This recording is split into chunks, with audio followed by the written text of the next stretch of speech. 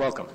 Or as they say in the ancient tongue, Elen síla, lúmenn' omentielvo. A star shines on the hour of our meeting. And tonight it shines most brightly. For tonight we speak of a man, John Ronald Reuel Tolkien, who knew that elven star and its pure light. It is a star to which the silent longings of many mortals go, though they glimpse it only briefly, perhaps in sleep or dream, or in a quickly passing vision that pierces even bright day with a strangely blinding light. J.R.R. Tolkien has emerged as one of the most important and enduring literary figures of the 20th century. His masterwork, The Lord of the Rings, has now become one of the most printed and perhaps also one of the most read, and the two do not always go together, works of fiction in all history. At last count, as I understood, there were over 150 million copies of The Lord of the Rings in print and about 100 million copies of The Hobbit. Most of his fans know that Tolkien was a philologist and professor of English language at Oxford, but very few readers appreciate the intensity with which he explored the beauty and the perils of his imaginative world before ever starting down the road that led from the Shire to Mount Doom. A decade long labor of writing The Lord of the Rings that he began in 1937. That story, the Hobbit story, began for Tolkien as a trifle, as a diversion on the periphery of his creative project. But since it's the part of his history that most people come aware of, let me start there. Around 1930, Tolkien, professor at Oxford, was doing one of the tasks he most hated, correcting exam papers. As he went through the booklets one by one, he opened an exam booklet and noted that the student had left it completely blank. As he mused upon this situation, he was startled to note that upon the page he had written some words. In a hole, there lived a hobbit. He looked and pondered. What hole? And what's a hobbit? Tolkien was a man of active imaginations, and at this time he had many young children at home, four to be exact. He often told them stories at night, and he took this image of a hobbit living in a hole and began to develop it in nighttime tales. As it developed, as it progressed, as he discovered it, it became more interesting to him, and he began taking manuscript notes.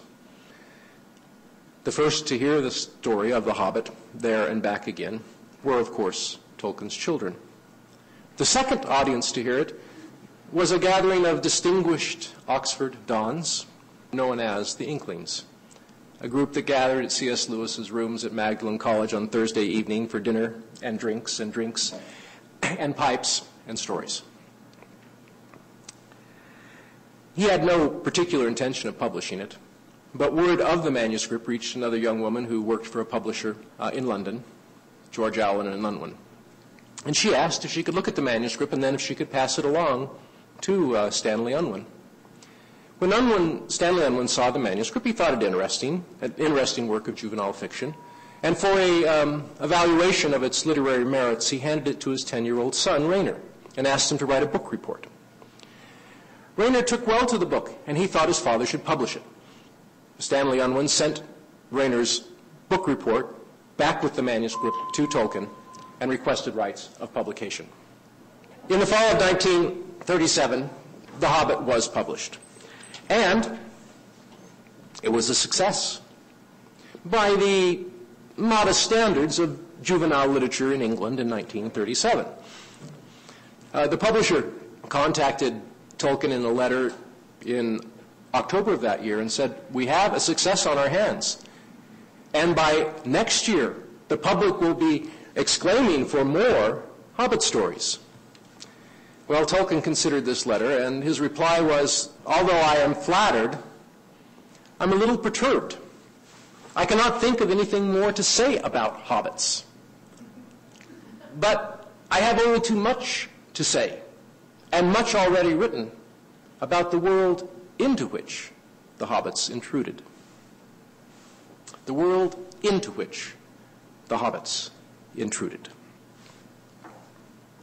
It's nine o'clock. For over 20 years, in 1937, at the time of publication of The Hobbit, Tolkien had been fully immersed in one of the most extraordinary imaginative experiences, to my knowledge, in human record.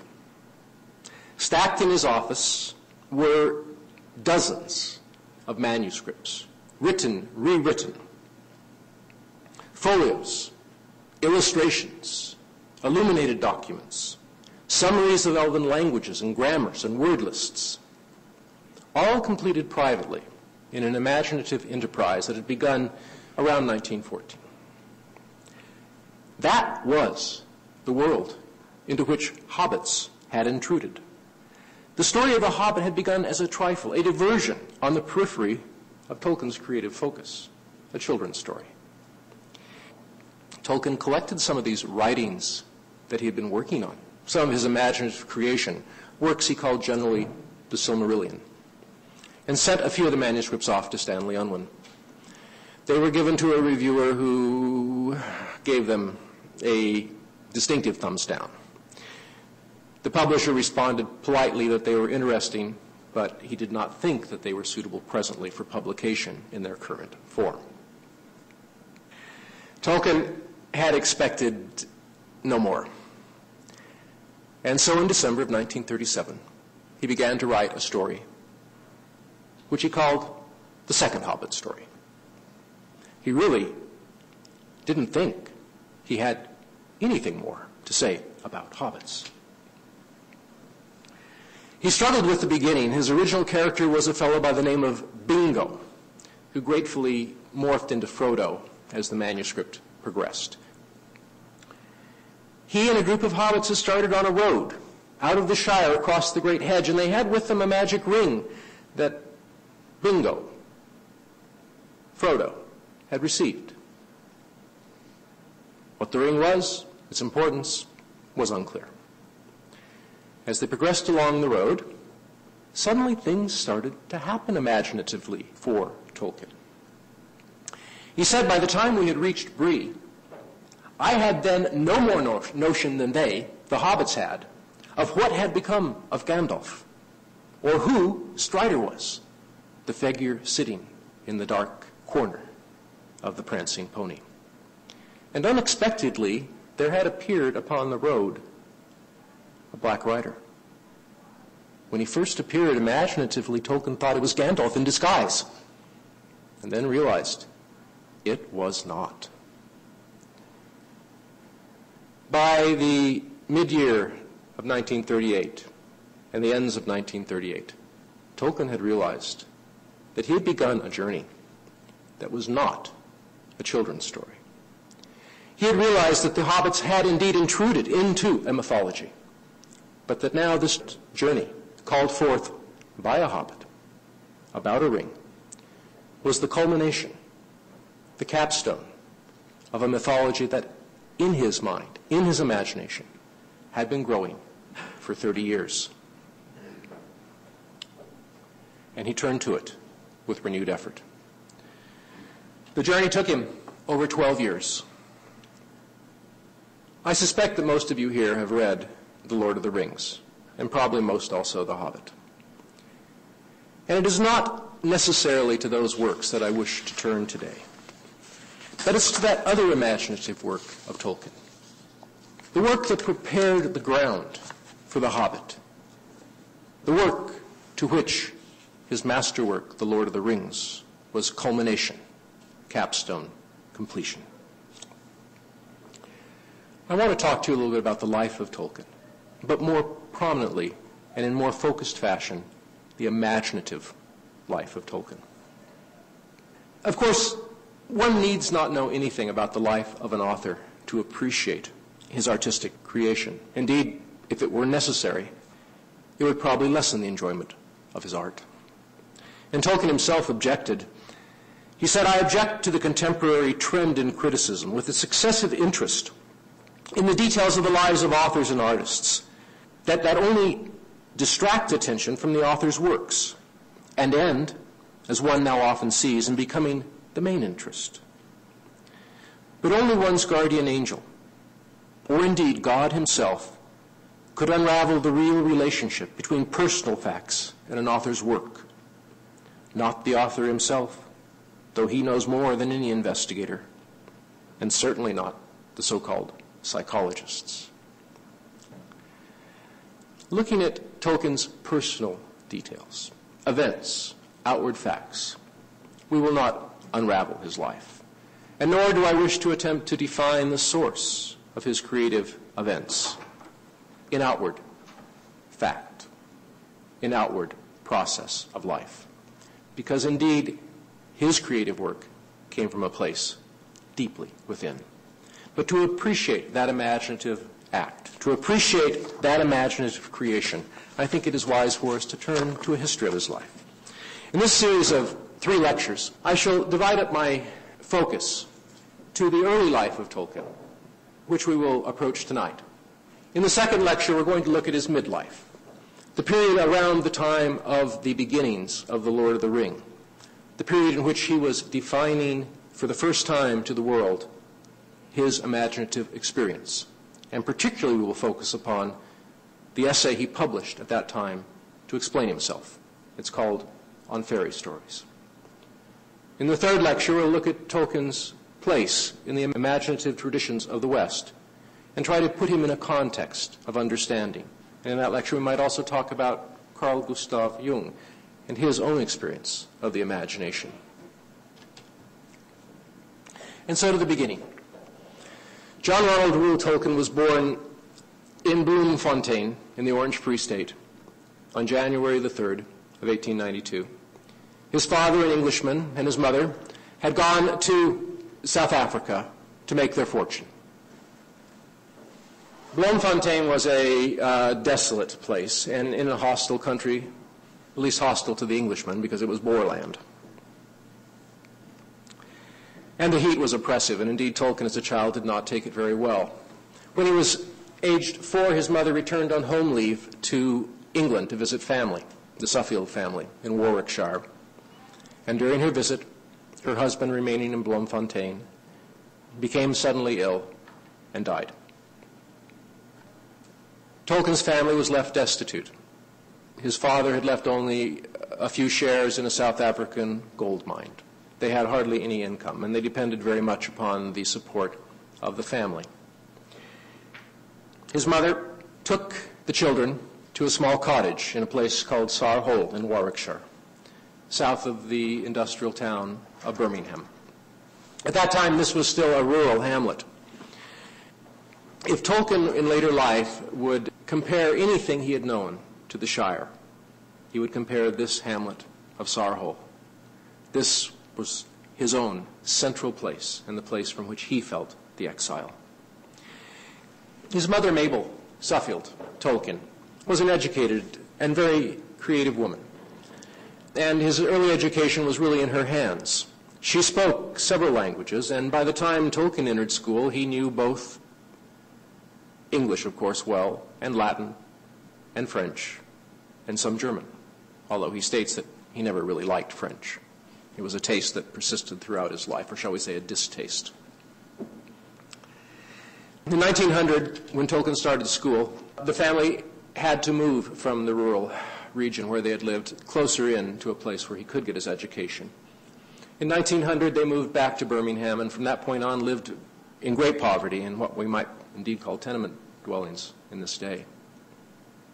Something else happened in that year of 1900 when Tolkien was eight and started school. His mother apparently had a deep spiritual instinct or need, and she had been thinking for a long time about a religious conversion from her Anglican faith to Roman Catholicism. She decided in 1900 that she had to do it, and indeed she did. This was to the complete rejection of her family, upon whom she had depended for financial and moral support. And nonetheless, she felt strongly that she had to follow that path.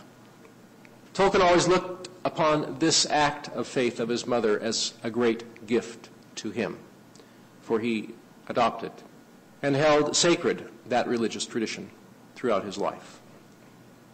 But then, when Tolkien was 12 years of age, his mother too became ill, developed diabetes, a disease which in that day had no treatment, and in 1904 lapsed into a diabetic coma and died, leaving Tolkien and his young brother, Hilary, orphaned. She had left Tolkien and Hilary in the keeping of the family priest, and he was the guardian and agent caring for Tolkien throughout his childhood life. Tolkien was boarded from place to place from that time on. He entered the old Edwardian school, and certainly he was no wallflower. He was a, a very good student, of course, and had a particular affinity, talent for language. He was also a distinguished rugby player, distinguished, they say, by his complete unwillingness to ever back down. In school, Tolkien found deep and important relationships with others. And this is a quality uh, of Tolkien that you really have to understand. It, it travels throughout his life. Tolkien sought fellowship. He was an extremely internal, introverted person. He had very, very private elements, but he also had a deep social need of sharing. And throughout his life, he tended to find a few, one or two, or perhaps three, like-minded fellows. In school, there were three, and they became soulmates, dear and close friends. Tolkien was, of course, the only Roman Catholic, but they all shared, and indeed this is a quality, again, that runs throughout Tolkien's life. They all shared a sense of a divine reality and a sense of moral obligation, a sense that they had something to do in the world, a purpose. Not only was there fun, but there were moments of very deep communication between these boys. They really developed a loving brotherhood, full of antics and argument, but full of support and caring. And then again in these years, something else happened. When Tolkien was 16, once again, he moved. His guardian, Father Francis Morgan, moved him to a new boarding house along with Hilary. He thought it might be more suitable for the boy. Well, it was. There was another boarder in the house. Her name was Edith.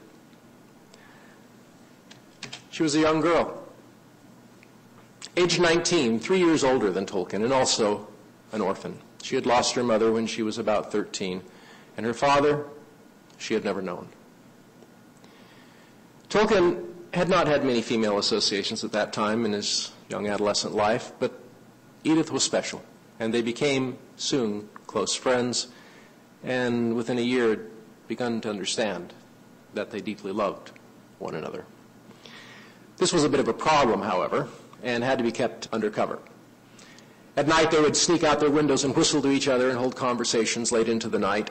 Uh, in the day, they would ride off in different directions on their bicycles and try to find a little place where they could sit together for tea. But of course, word got back. Eventually, Tolkien's guardian deeply disapproved, as might be understood. He forbade John Ronald from seeing Edith any further and mandated that he move. When it was found out that even after the move they were sneaking visits, Father Francis put his foot down and said that he would be cut off if he did not obey and no longer see Edith until his 21st birthday. Tolkien was at this time 19. He was a year away from entering Oxford, and he really had no choice, and so he cut off all contact with Edith. But she remained his love. And for those many years between his 18th and his 21st birthday, she was the focus of his heart, though he could say nothing to her, not even send her a letter. Tolkien entered Oxford when he was 19. He undertook the study of classics, which actually was a subject that rather bored him. He already knew the classics. He was fully fluent in the literature of the Greek and Latin worlds. And in his first two years of Oxford, uh, well, Tolkien's tu- tutor said of him that uh, he was a distinguished student, but distinguished principally by his laziness. He wrapped himself up in the social structure of things, and he also took private moments to begin exploring a new and developing interior creative mode. This creative development played both in art, visual art, and in language. Let me start with the pictures. I mean, maybe, maybe I can give you a, an image of what was going on. Tolkien's mother had uh, been the child, uh, the daughter of an engraver. And she was a good artist, and Tolkien had begun drawing at a very early age. Up through about 1912, when Tolkien is 19 to 20 years old, his art is mainly topographical. Images of the exterior world. And his art actually is some of it pretty good. Then around 1912, something happens. He senses a need to begin drawing not what he sees on the outside, but what he saw on the inside. He purchased a little book just for these drawings. He called them Ishness. And suddenly, these images start appearing. In 1912, this is the one of the most startling. The first in his, of his Ishness drawings. Two pillars, flames, a dark passage, and a doorway. Primitive, quick, sort of a statement of the deep dream world. And then it's followed in the book by this one. Afterwards. The figure is passed down that passage through the torches, and we see out through a door into a strange, mysterious nighttime landscape. And this one. This is my favorite. The end of the world. One commenter stated that this was a rather depressing theme, a, a poor fellow stepping off a cliff. But I see it entirely differently. This is really where Tolkien was in 1913. Things were cooking in this young man's imagination. He had turned into an imaginary realm. He had passed through a doorway. And now he was at the edge of what was known. And if you look at that little figure, he's not about to step off. That fellow has stepped, but he's not falling. He's walking into a sun, into a moon, into stars. And this one, eeriness. On that journey, we have strange things happening. Once again, these are all the interior images that he's suddenly starting to draw. Here we have a wizard, wouldn't you say? And he's carrying a staff. He's surrounded by a halo of light. He's passing into an old forest on a dark road. These are the images that Tolkien is beginning to play with. At this time, something else very important happened, of course. Uh, he was united with Edith. On January the 2nd, the eve of his 21st birthday, he sat in his room composing a letter to her, asking when they could be joined before man and God. And on his 21st birthday, the day of his obligations end, he mailed her that letter. A few days later, he received in the post the message that she was sorry, but she had thought he had forgotten her and she was already engaged. Tolkien got on a train, went to her house, knocked on the door, and explained that indeed she had not been forgotten. They were eventually betrothed, but they could not then marry. Tolkien still had two more years of university studies. He was penniless, as was she. He had to have a job and a way of supporting her before they could marry. This period, 1913, after his return to Edith, the beginning of these drawings, something is absolutely exploding in the imaginative world of John Ronald Reuel Tolkien. I showed you the pictures, but there was something else going on, something also artistic, but of a different type. Tolkien called it, in later years, my secret vice. Tolkien had begun playing imaginatively with words. I don't know exactly how to explain it because it's an experience that has very few analogs anywhere that I have been able to find. Indeed, Tolkien himself found only hint that one other person had so experienced word. How shall I explain it? Well, In younger years, he had played word games with two of his cousins. Uh, the first word game they had played was called uh, Animalish, in which they substituted animal names for various words. So by various combinations, one could express simple, short thoughts. Um, one of his cousins became a little bit more interested in um, a more progressive development of this game, and they started developing a real language. Tolkien then found an interest in this, and after all others had lost interest, continued at levels of complexity, increasing and deepening. The best I can describe it is in terms of music. If you can imagine, for example, a young Mozart hearing melodies in his head in combinations, in forms never before heard. Bringing out of that imagination small works, greater works, masterworks over a period of development. Where did it come from? They seemed simply there. Such was Tolkien's experience of word. He had an aesthetic ear for language. It came to him like music, not just in its sound, but certainly in sound, but also in its form and transformation, in its case structure, in the way that verbs shifted and word orders played. When he first heard Old Anglo-Saxon, also called Old English, he said he immediately felt as if he knew it. And he thought he had inherited the sympathy in his blood, in the blood of his mother's family, who had been from the West Midlands for many, many centuries. Then he discovered Gothic. Gothic is a dead language. Hardly any of it survived. You've heard the story of the Attila the Hun, the Huns and Goths. Well, the Goths lost. Attila won, and as a result, most Gothic culture and most language disappeared. But a few fragments survived, and Tolkien found the language beautiful in his ear. As he started playing with it, he found uh, a need to try to express himself in Gothic. But the problem was, uh, well, there weren't many words.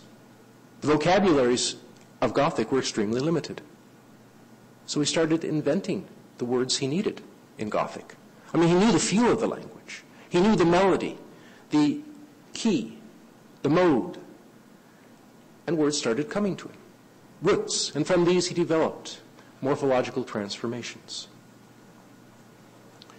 At this time, he was completing his second year at Oxford and had, uh, had to take his second year exam in classics, in which he did not do well. Uh, he did not get a first class. His uh, professors, uh, since he was a scholarship student, this was a bit of a disaster, and his professors suggested to him that perhaps he had chosen the wrong area of study.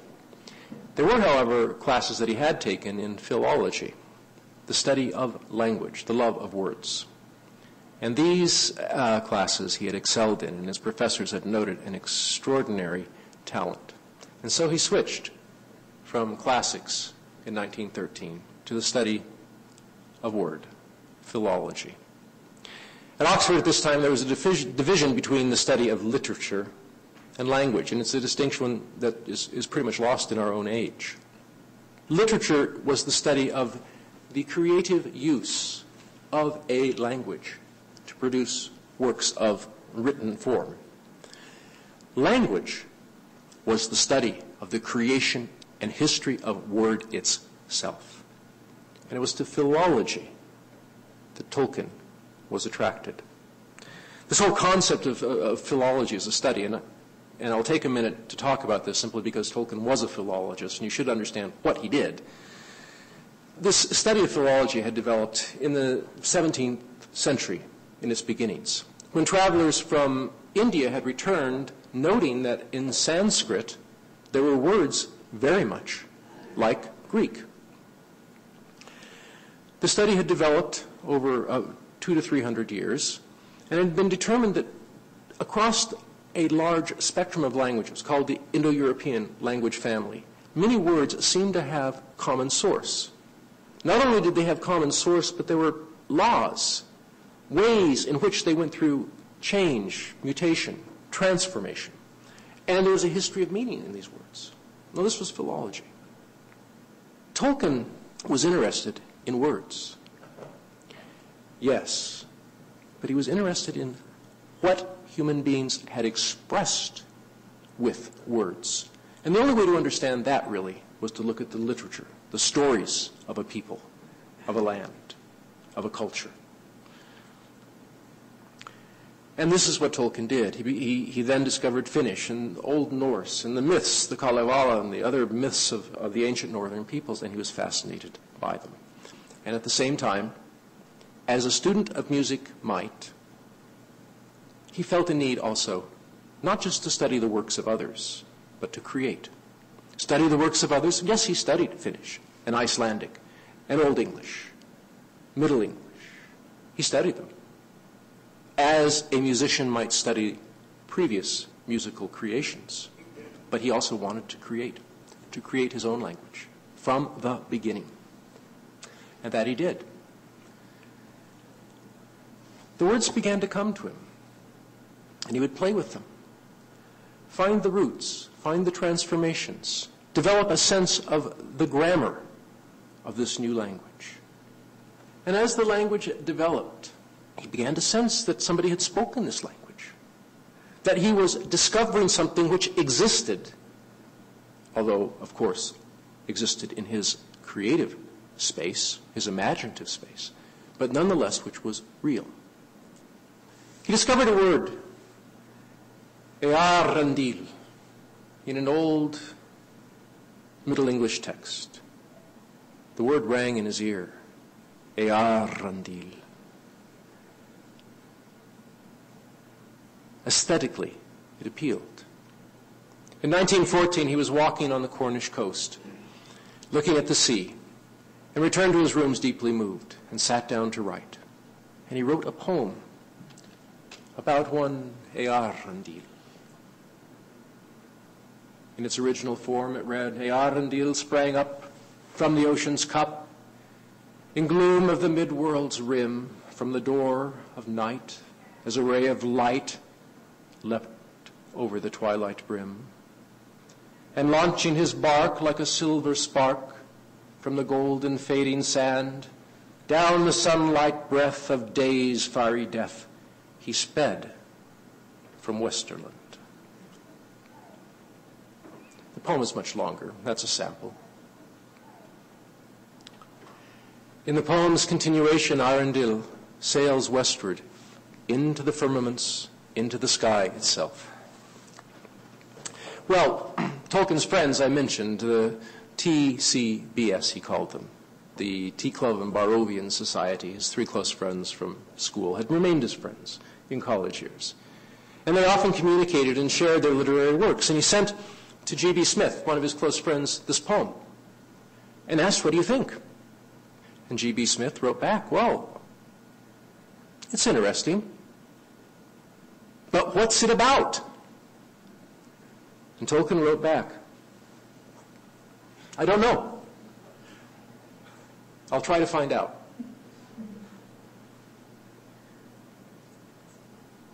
There encapsulated in those few words is Tolkien's experience of imagination. He didn't say, uh, well, let me think about it. I'll make something up. I will create a solution. Uh-uh. I will discover. I will investigate. I will find out. I will find out. And so this imaginative process was spinning around Tolkien. The words, the new language, the stories. Who speaks this tongue? And what is their story. He came to determine that those who spoke the tongue were the elves. Indeed, they spoke many tongues, and many tongues he came to know and to create. And they indeed had a story, and he began to hear it. He began to imagine names and words, places.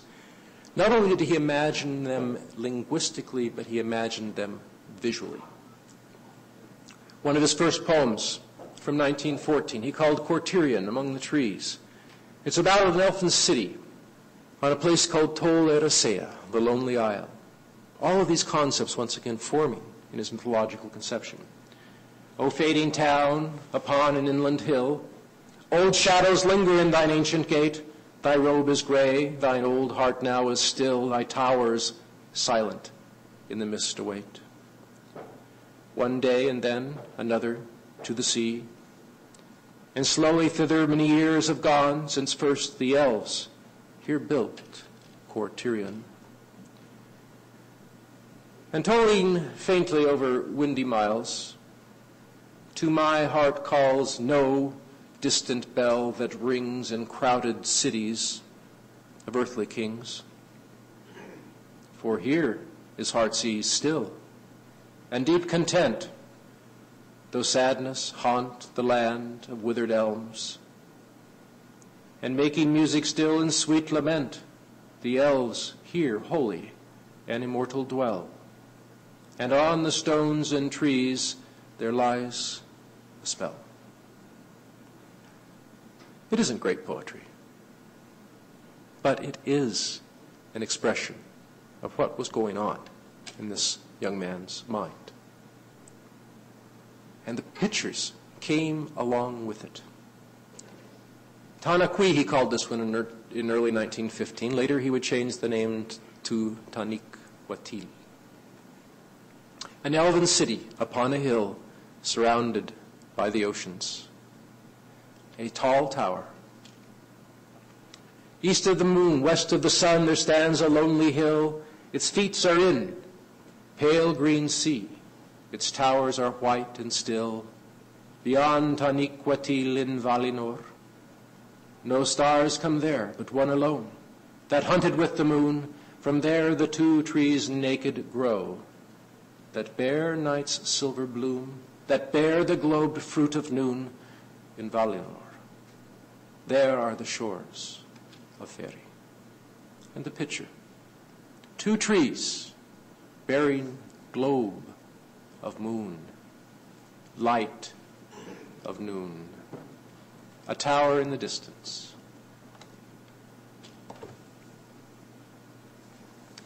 Tolkien said later, Speaking for myself as a child, I can only say that a liking for fairy stories was not a dominant characteristic of early taste.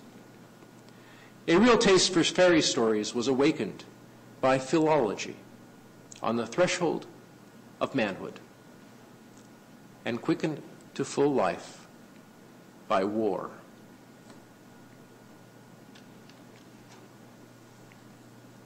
And of course, at this point, there was a war. In August of 1914, war had erupted. Oxford was cleared out by the young volunteers. Tolkien, however, despite immense social pressures, felt he could not leave his studies at that time. There was Edith. There was the need to complete a degree, to marry. And so he delayed his enrollment until completion of his final exams in 1915. He graduated with a first class, which pretty much assured him an academic career. If, if he survived the war. Edith and John Ronald Reuel Tolkien were married in 1916. She's beautiful, isn't she? He really thought of her as a fairy princess. In 1916, and Tolkien soon thereafter shipped out. A major advance was about to begin. It was called the Battle of the Somme River. It began in July of 1916, and Tolkien, along with two of his other best friends, arrived just in time. The Battle of the Somme was one of the most horrendous of World War I. On the first day of the assault, 20,000 English men died. The next day, 10,000 more. Lines of trenches faced each other across no man land expanses of a few hundred or more meters of barbed wire. And they ran from one trench to another through the artillery, through the barbed wire, into the machine guns, and often into certain death. Tolkien was a signal officer. His job was to try to maintain some sort of communication between the front lines and the rear in the midst of hellish chaos and battle. He later wrote that if there was any experience he had that might be reflected in an image found in The Lord of the Rings, it was the dead marshes and the Battle of the Somme. Rob Gilson was a gentle poet, one of Tolkien's three great friends from school. Rob died in the second week of battle, serving also with the Lancashire Fusiliers, as did Tolkien. He carried in his pocket, throughout the war, a copy of Tolkien's poem, Kortirion Among the Trees. It was precious to him. He felt that something was happening. Something beautiful was happening in Tolkien. G.B. Smith died a few months later, struck by shrapnel. He thought he had what was known as the Blighty wound, the wound that got you out of battle, returned you to England, but did not kill you. But in three days he was dead of the toxemia of gas gangrene. A few days before his death, Geoffrey Smith had written Tolkien a letter. And I would read you the whole letter, but I've found over the years that I can't read it without tears streaming down my face, so I'll abbreviate it. Uh, he said, I'm off on duty in a few hours, and if I die tonight, I take solace that some of the great TCBS, the brotherhood of friends, will remain, to dream the dreams, to accomplish the dreams that we shared.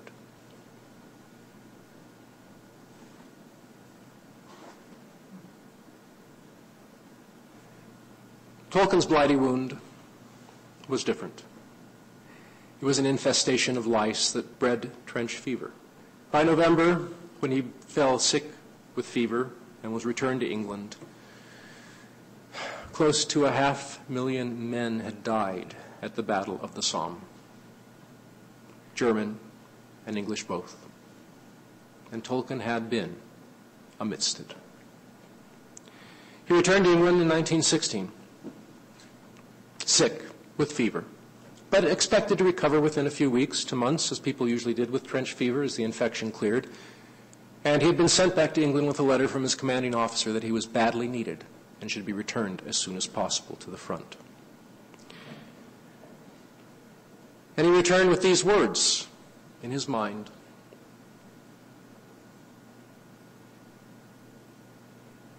Right. Right my dear John Ronald. Say the things that we would have said. He returned to England in 1916, and the stories, the images, the elfin languages were overwhelming in his mind, and he did begin immediately to write. Speaking of this period, he says, the tales. They arose in my mind as given things. And as they came, separately, so too the links grew. An absorbing, though continually interrupted labor, especially even apart from the necessities of life, since the mind would wing to the other pole and spread itself on the elven linguistics. Yet always I had the sense of recording what was already there somewhere, not of inventing, of finding of finding out. Given things already there somewhere. This is the ringer. It's the issue that always confounds people. Something already there, given. You know, when we talk about imagination, well, imagination is uh, it's what you make up. Imagination is a type of, of lie, a fantasy. It's not real. Many of us have fantasies or imaginations. Often they are reorderings of things of our, our world, reorderings of situations, But you see, the working material, the raw material that we're working with, we perceive of as our own creation. It's as if we have a repository of information we have received. And we're reaching into that repository and pulling out and then reordering in the creative act. That is not what Tolkien was doing. Tolkien felt that he had found a passage, a strange passage. He had walked through a door into what was clearly an imaginative realm. It was a land he called Faerie, using the old Middle English word for fairy, spelled in the old form to distinguish it, Faerie. He had walked into that realm, and there was an autonomous reality, a given. He perceived it, and he made attempts to record it. He knew its languages. Indeed, during this period, he was writing some poems in elfin tongues. And not just one elfin tongue, because you see, the elfin folk had a history of millennia, and their language had undergone transformations in those millennia. And so, by end, Tolkien had five or six different branches of the elfin tongue, which he had mastered. Linguistically, phonetically different languages. And the stories came. Given. They've now been published in a book called The Book of Lost Tales. Let me interject a footnote here. When Tolkien died in 1973, I believe it was, he had been working ever since completion of The Lord of the Rings to publish this material, this creative explosion of material that had come to him in the years near and after the Great War and could not accomplish it. His son knew how badly he wanted this published, and so a few years after his father's death, Christopher Tolkien, his literary executor and a very faithful servant of the man's literary uh, legacy, Christopher published a book called The Silmarillion, in which he took a few samples of these writings and tried to put them into a stable format. But he soon came to see the effort to have been a mistake because Tolkien's work during this period was never a static and completed fact. It was a continuous creative flow, continually changing, continually being reimagined, continually being rewritten. And so Christopher Tolkien saw that what he really needed to do is actually publish it all. And all was a lot. Now, most of Tolkien's writings have been collected, have been edited, and annotated, as is necessary by Christopher Tolkien, and published, and I believe the History of Middle-earth now runs to 12 volumes. The first two volumes of the History of Middle-earth are called the Book of Lost Tales. And these are the books, the story that uh, Tolkien conceived as a whole, and that was authored upon his return from the Somme in 1916. I think I have enough time to tell you a few of these stories. Let me start with the first story. The first story he told was of Tuor and the fall of Gondolin. He wrote it in an old school notebook, cheap scrap paper notebook. He wrote it quickly in pencil. It was begun shortly after he arrived back in England from the battle in December of 1916, and then January and February of 1917. The story he called The Fall of Gondolin. In it, there are echoes of a much deeper mythology. And as he said, these stories kept appearing. They came as givens.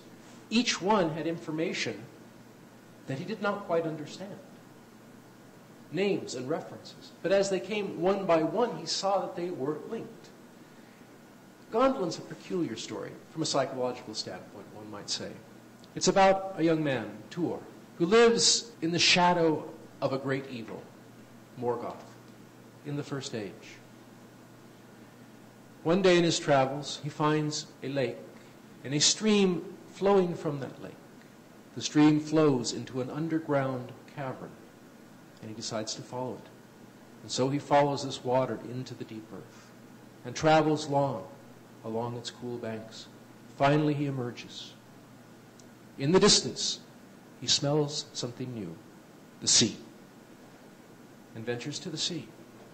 There, a spirit power comes to him, a spirit of water, a water type god, and tells him of a place called Gondolin, to which he must now venture. Gondolin. In the Sindarin tongue, that means the singing stone. Gond is stone, lind is song in Elven. Tuor is a mortal human. Gondolin is a city surrounded by a perfect ring of rock, high mountains. And there in the middle of that circle, there is one high peak, and upon that sits the city of Gondolin. Morgoth, the Dark Lord, is searching for control and for destruction of the entire world, but Gondolin has been hidden from him. And in those circled mountains, there lives an elven community in peace and art and beauty. Tuor struggles through a venture up to the encircling mountains. There's a magic door that leads through the mountains into Gondolin. It can only be found by elven hands, and he finds elves who help him, who open the door. He ventures in. He enters the circle. He sees in the distance the town at the center point and goes there. He falls in love with, of course, the daughter of the king. They marry. They have a child. That child's name is Earendil. And he will have a history as well. Morgoth discovers, through treachery, the existence of Gondolin and sends his mechanized dragons of fire across the mountains. Tuor has sensed the coming of this destruction. He has created an escape tunnel, and he and his wife and his son, Earendil, escape back to the sea. It's an amazing image. I share these stories with you only to give you a, a taste of them because I think you should indeed look into these original tales of Tolkien if the man interests you. Even more amazing was his myth of creation itself. It's called the music of the Ainur. Because as Tolkien imagined his world, he imagined it from the very beginning. Now, a cosmogonic myth, means a myth of the creation of cosmos. Cosmogonic myths are relatively unusual. In criticism of mythology, they are sometimes referred to as stories told by people about how humankind came to consciousness. And Tolkien had a most unusual cosmogonic myth descend upon him. In the beginning, there was a first source. It was called Iluvatar. Iluvatar was all alone and one, the single. Iluvatar was the beginning, and beyond that, no wisdom of the Valar, or of Eldar, or of men can go. Who was Iluvatar? said Eriol. Was he of the gods? Nay, said Rúmil, that he was not, for he made them. Iluvatar is the Lord for always, who dwells beyond the world. Tolkien, in his image of the telling of these myths, had a link, an image of himself perhaps, an image of a voyager who he called Eriol. Eriol meant one who dreams alone. Later he changed his name to Ælfwine, which means elf friend. As Tolkien's mythology developed, he had the sense of Eriol, who had found a way to sail across the western sea to the land of the gods, to Valinor, to Valar. He went to Tol Eressëa, the lonely isle, where exiled elves dwelt. And there they had a story hall. Eriol was invited in. And night by na- night he sat before the tale fire and heard the stories of the elves. And this was one of them. Rúmil was the old elvish philologist, the developer of the uh, first uh, written forms of uh, Elven language. Rúmil is telling this story to Eriol. Iluvatar, the one and alone, wishes, thinks something else. He thinks music. He wishes to hear his own melody. And from Iluvatar emanate a series of powers were called the Ainur. Ainur. The Ainur sing. Their music, word, their music, creation. And in it comes a great harmony, like a symphony. But in the symphony, suddenly arises dissonance, chaos, confusion. Iluvatar holds up his right hand and it stops. And then it begins again in harmony, completeness, beauty. And then again, a voice of chaos enters, discord. Iluvatar holds up his left hand. And it starts again, once again, unity, descending under the force of one of the Ainur, one of the voices of the divine, Melko. Under the force of Melko, again, into chaos. Despite the dissonance, Iluvatar calls the Ainur and asks them to come and look, see what they have done. Iluvatar takes the Ainur, the creative voices, the music of creation, out. And now when they reached the midmost void, they beheld a sight of surpassing beauty and wonder. There before had been emptiness. But the Iluvatar said, Behold, your choiring and your music. Each one herein will find contained within the design that is mine the adornments and embellishments that he himself devised. One thing only have I added, the fire that giveth life and reality. And behold, the secret fire burnt at the heart of the world. The fire of life and reality. Some of the Ainur were drawn into this creative fold. They descended into Arda, the created world. And there they were called the Valar, a word we might interpret as the first gods. Each came with quality. Manwe, spirit of air. Varda, queen of heaven, of starlight. Her name in the Sindarin tongue is Elbereth Gilthoniel.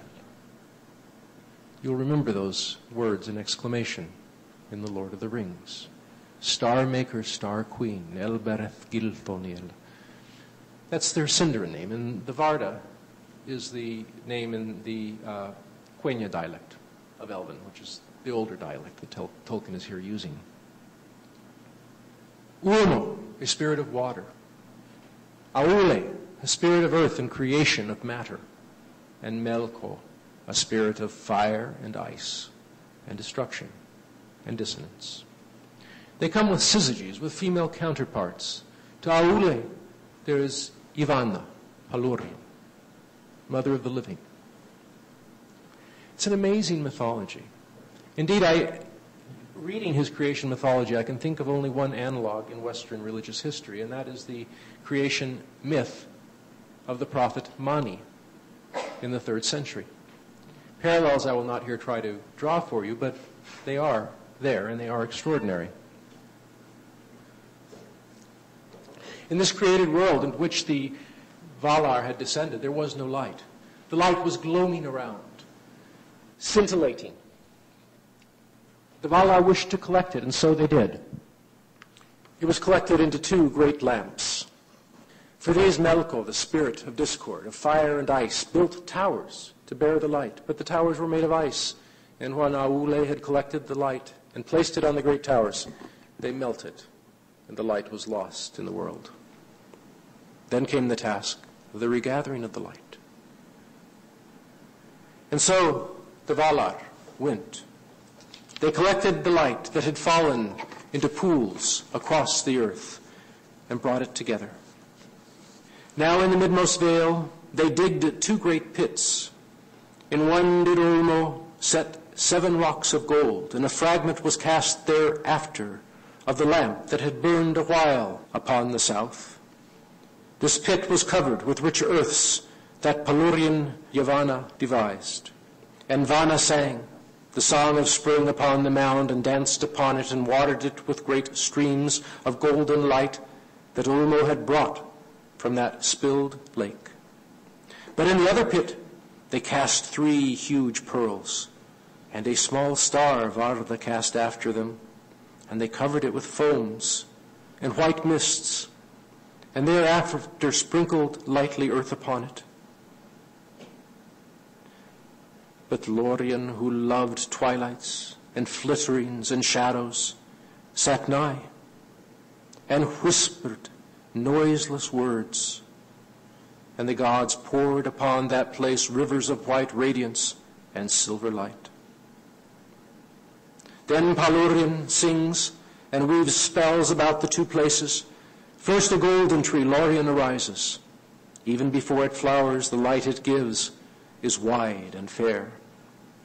But then it puts forth blossom in exceeding great profusion, so that all its boughs were hidden by long swaying clusters of golden flowers, and light spilled upon the tips of these. Then hours later, the white tree Silpion emerges. Its flowers were as silver and pearl, and glittering stars burnt with white light.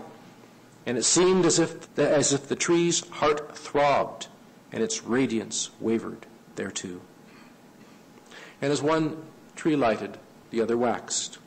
And at the turning there was a wondrous gloaming, a mixing of gold and silver, and mingled lights. A strange, strange story of light. That's Tolkien's creation mystery. If I were to characterize his cosmogonic myth, his mythology of the coming of world, I would say that it's a story of a coming and a loss and a renewal of light brings us quickly to the story of the Silmaril. This is all happening, you see, ages, ages before the awakening of the children of the Iluvatar, of the elves, or of the men, ages before their awakening. Eventually the elves awake. They are the firstborn, born under the stars. It is discovered by the Valar, the gods, that the elves have awakened. A messenger is sent out to them, and they are requested to come to Valinor, to the land of the gods, to dwell with them. And they do. One of the elves, Feanor, is a master craftsman, and he learns from Aule the Valar force of alchemy, mastery. He's fascinated by the light of the trees, and he wishes to make of them something. He makes indeed the first of all gems, but the gem he wishes to make is a gem that encapsulates the light of the trees, of Lorien, of Silpion. And so he does by subtle and great magic craft from a great pearl and luminous phosphor light gathered in dark places, and all the gems he had hence created, and the radiant dew of Silpion, and a single drop of the light of Lorien he mixes. And he has just enough of this magic mixture to yield three great gems of light. The Silmaril. Feanor loves them he loves their light. He loves his creation. Well, there's another person that's interested in that light too. His name is Melko, that voice of dissonance. Because Melko also wants light, but he wants to own it. He wants to consume it, and he hungers after the light of the Silmaril.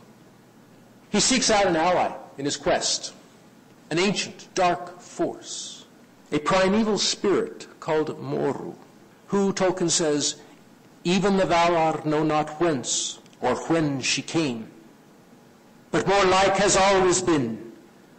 And she it is who loveth still to dwell in that dark place, taking the guise of an unlovely spider, spinning a clinging gossamer of gloom that catches in its mesh stars and moons and all bright things that sail the airs.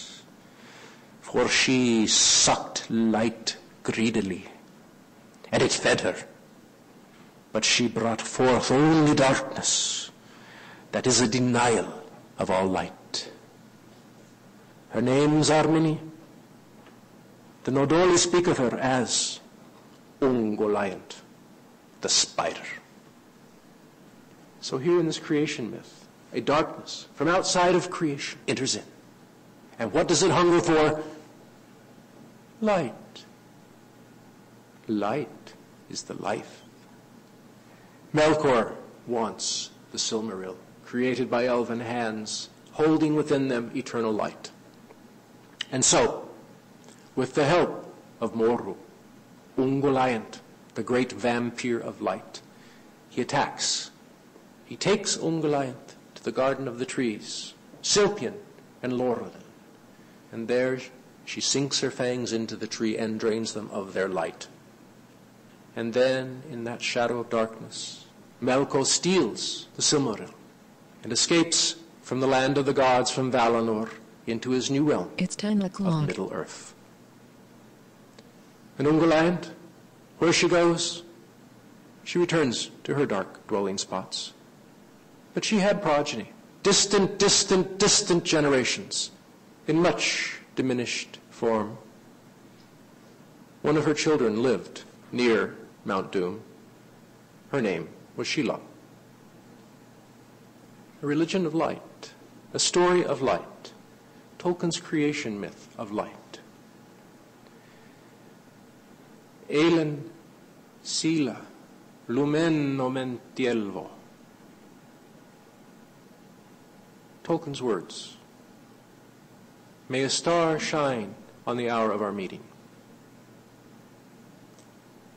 After The Lord of the Rings was published, many people kept asking Tolkien, what is it really about?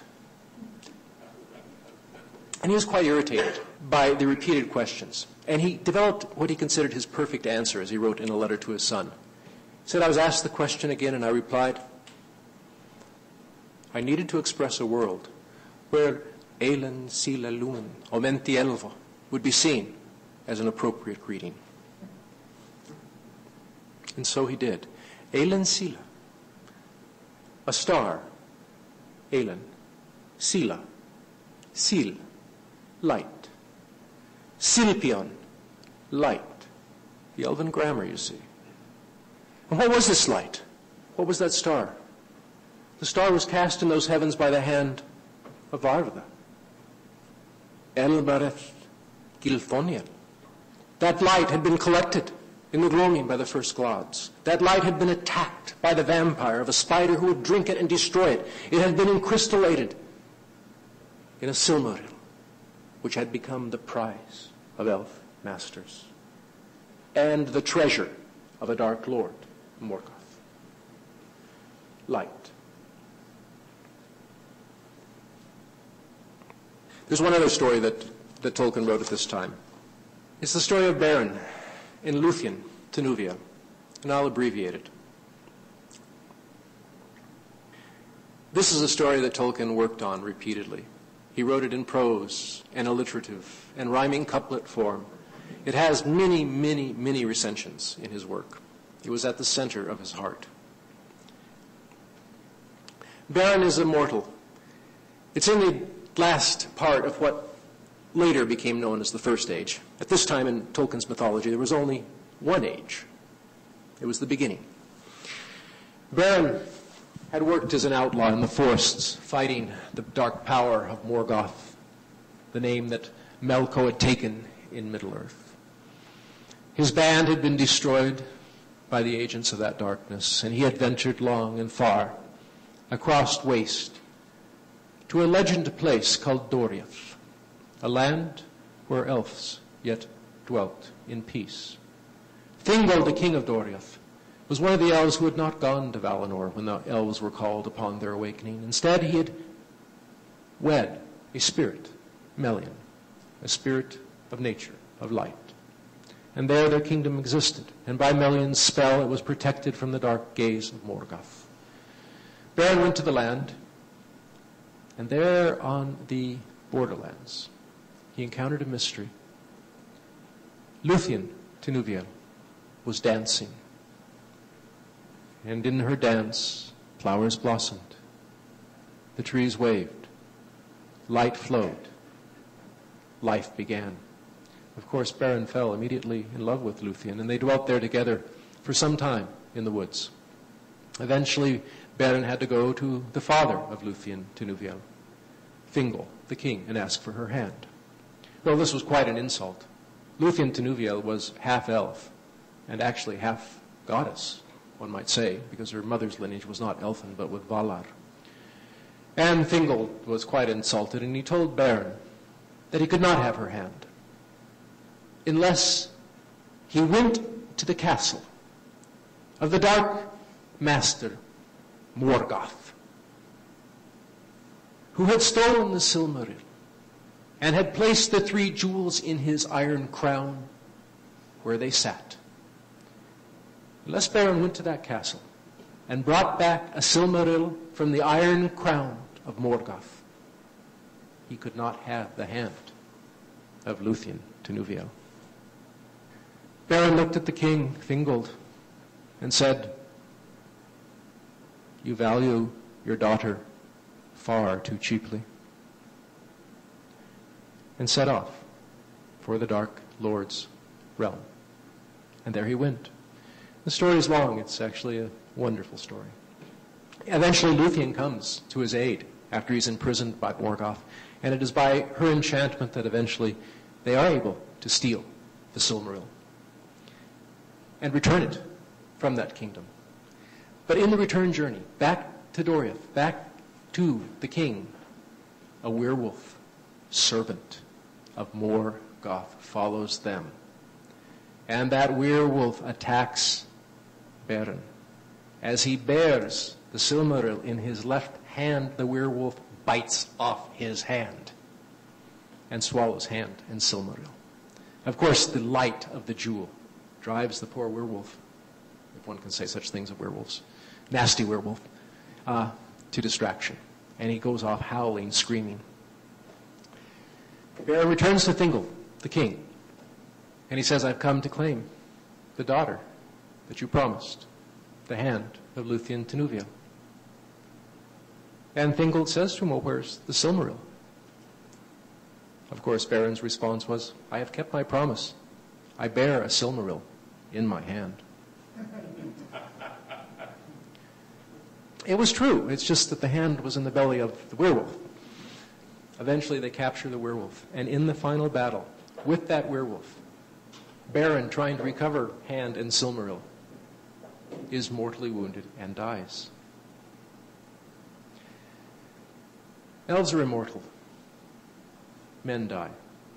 That's the gift of a Iluvatar to man, to humankind. They die. Luthien is distraught. She goes to Mandos, the halls of the great Valar, Lord King of the dark afterlife, and pleads for Beren that they may be again united. And Mandos says that indeed, yes, they may, if Luthien forsakes her elven quality and she becomes mortal, and they together return as mortal to surely die. She accepts this pledge, and they return together to this earth. How seriously did Tolkien take this created mythology? What was it to him? These givens, in their first formings, between 1914 1925. When Tolkien died in 1973, he was buried beside Edith in a small cemetery near Oxford. His wife had preceded him in death by two years. He, writ, he wrote a letter to his son asking permission to do something very special with their gravestones. He wanted to inscribe under Edith's name the name Luthien, and under his own name the name Beren. And he said to his son in the letter, She was my Luthien, and she knew it. Now, that's not to say their marriage was always happy, because it was not. It had its conflicts. But she was his Luthien. And so today, that stone stands. Edith Tolkien, Luthien. John Ronald Reuel Tolkien, Beren. Givens these myths were to him. And so, in 1930, a hobbit intruded. And it is to the story of that hobbit intrusion, to the story of how Tolkien handled his own creative experience, that we will turn in the coming lecture. And so I thank you very much for your attention tonight, and I hope to see some of you next time. Thank you.